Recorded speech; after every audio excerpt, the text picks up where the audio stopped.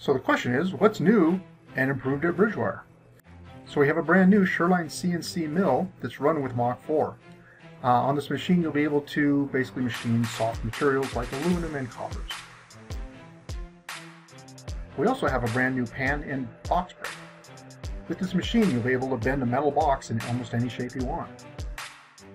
You might ask yourself, what does a facilities officer do? Well, he actually maintains an awful lot of our equipment. For example, the paint booth recently had all of its filters replaced, um, and he added a lazy, Su lazy Susan so that you can actually rotate your um, item that you're painting. Additionally, on our metal drill press, we replaced the drive belt. Uh, so now you can actually use all the speeds as opposed to just uh, one speed that we had before. This facilities role is a lot of work, so remember you can help out too. For example, if you're using a vacuum in the wood shop, always check it to see how full it is. If it's half full, it's time to empty it. Also in the wood shop, always remember to clean up after yourself.